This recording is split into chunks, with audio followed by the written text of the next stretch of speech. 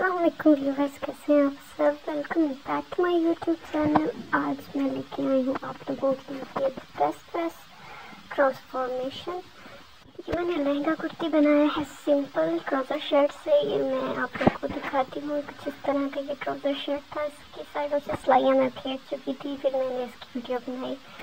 तो मैंने कहा, साथ आप लोगों को शेयर कर दूँ कि ये पहले किस तरह से दिखता था।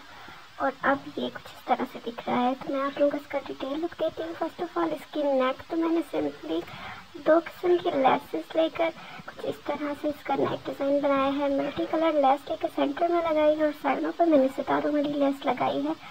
और बाजुओं पर भी इस तरह से मैंने ये मल्टी कलर में लेस लेकर इस पर लगाई है, क्योंकि गोल्डन कलर में ये लहंगा है तो इस पर कलरफुल लेस जो है, वही सबसे ज़्यादा सूट कर रही थी। इस वजह से मैंने इस पर ये कलरफुल लेस लगाई।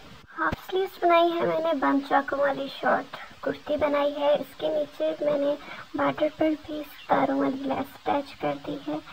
तो उल्टी साइड पर भी मैंने सेम सितारों वाली लेस अटैच की है।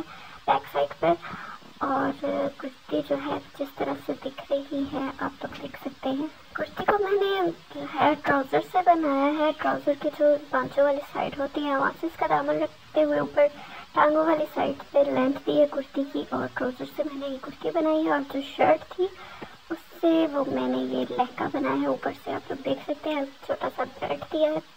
और नीचे मैंने बॉडी पे वही मल्टी कलर लेस अटैच कर दी है। ये लेस मैंने सिर्फ़ फ्रंट साइड पे अटैच की है बैक साइड पे नहीं की, क्योंकि लेस मुझे बहुत पसंद आई थी और ये शॉप वाले के पास सिर्फ़ इतनी ही थी। ऊपर मैंने लहंगे का इस तरह से बेल्ट दिया है मैंने पिन अटैच की है। अभी इसमें मैंने लास्टिक नहीं डाला तो अब इसमें लास्टिक डालना है। साथ आप लोग इस जगह पे टसल्स अटैच कर सकते हैं, खुद से बनाई हुई डोरी अटैच कर सकते हैं मार्केट से लाई हुई टसल अटैच कर सकते हैं, जो काफ़ी अच्छा लुक देती है। मैंने इस तरह से कलरफुल स्टॉलर जो है, इसके साथ अटैच करके दिखाया है। आप इसके ऊपर कोई भी मल्टी कलर का दुपट्टा अटैच किया जा सकता है, या इसमें पाँच छः कलर हैं सिंगल कलर का दुपट्टा भी इसके साथ अटैच किया जा सकता है।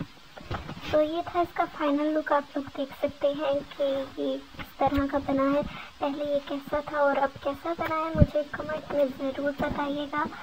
तो ये रहा मेरा लहंगा कुर्ती। ये जामावार का फैब्रिक है और जामावार के फैब्रिक पे मैंने ये लहंगा कुर्ती तैयार किया है। ये 10 से 12 साल के बच्चे भी इजीली इसको पहन सकती है, क्योंकि इसकी काफ़ी लेंथ मैंने दी है। ट्राउज़र शर्ट काफ़ी खुला और लंबा था तो मैंने इससे भी ज़ाया फैब्रिक को नहीं किया और पूरी पूरी इसकी लेंथ देते हुए इस लहंगा कुर्ती को तैयार किया है। सो व्यूवर्स आप लोग थोड़ी सी मेहनत करके अपने स्पेयर ड्रेसेस से इस तरह के खूबसूरत से ड्रेसेस तैयार कर सकते हैं। और ये ये इसके बचे हुए बाकी के पीस से मैंने इसका ट्राउज़र बना दिया है।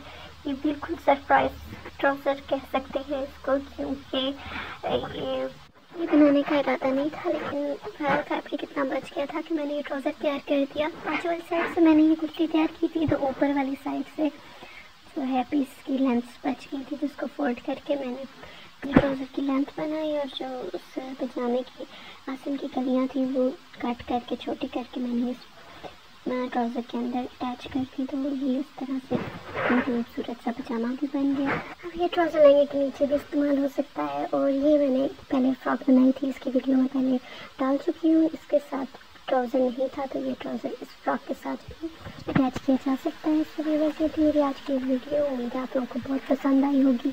कमेंट्स में अपनी राय के साथ ज़रूर कीजिएगा। अगर आप मेरे चैनल पर न्यू हो तो मेरे चैनल को सब्सक्राइब कर लें और बेल आइकन पर क्लिक करना ना भूलें, ताकि आपको मेरी आने वाली हर वीडियो मिल सके। मिलते हैं नेक्स्ट वीडियो में, तब तक के लिए दुआ में याद रखिएगा। अल्लाह हाफिज़।